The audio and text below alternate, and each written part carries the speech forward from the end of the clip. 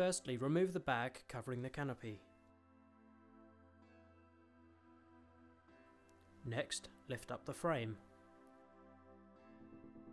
The plunger will click into place. The windscreen section can now be folded down. Next, the front protection panel must be secured to the front of the scooter, either by the strap around the bumper or by two velcro pads onto the shroud. Now the sides can be opened out and zipped from the back towards the front of the scooter.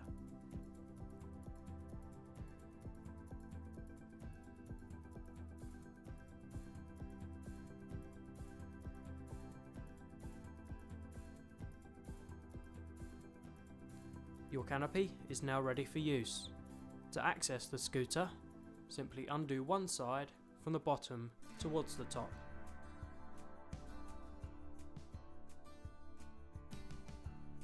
Firstly, unzip a side and observe the colour coded velcro.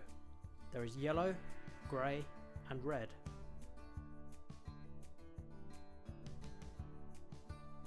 The side of the canopy will naturally fold in the middle, matching the yellow velcro up first. Then the grey velcro can be matched up, and lastly the red. It does not matter which side is folded up first.